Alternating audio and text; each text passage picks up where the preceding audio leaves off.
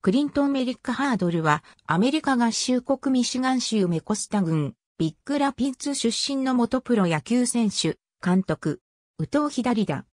1975年の MLB ドラフト1巡目で、カンザスシティロイヤルズから指名され契約。1977年9月18日のシアトルマリナーズ戦でメジャーデビュー。しかし、レギュラーで出場したのは1978年と1980年だけだった。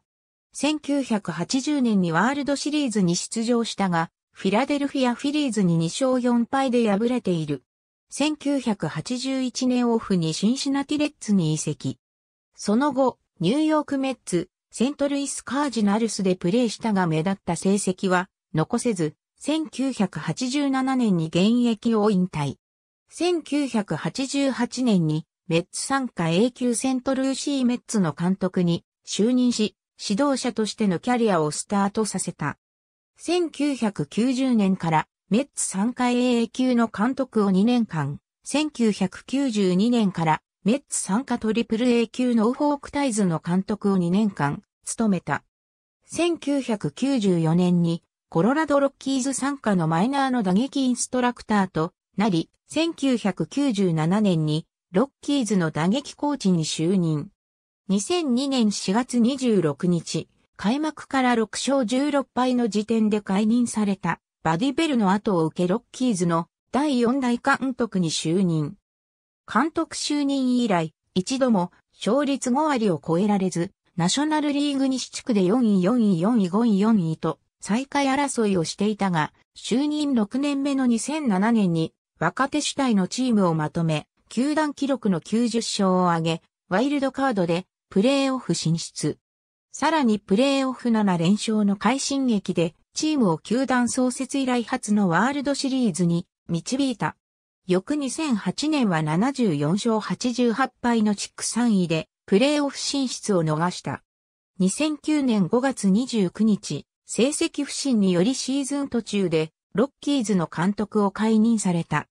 解任後、MLB ネットワークで解説者を務めた。2010年、テキサスレンジャーズの打撃コーチとなり、チームのワールドシリーズ初進出に貢献する。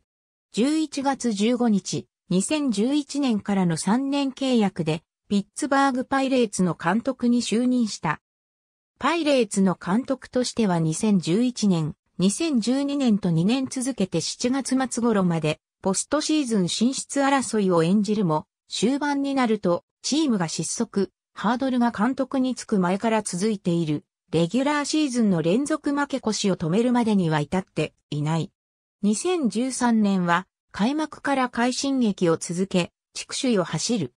9月9日のレンジャーズ戦に勝利したことで、シーズン勝ち越しが決まり、1993年から続くレギュラーシーズンの連続負け越しを20年でストップさせた。最終的に地区2位、ワイルドカードゲームでシンシナティレッツに勝利し、地区シリーズに進出する。しかし、セントルイスカージナルスに敗北し、チャンピオンシップシリーズ進出はならなかった。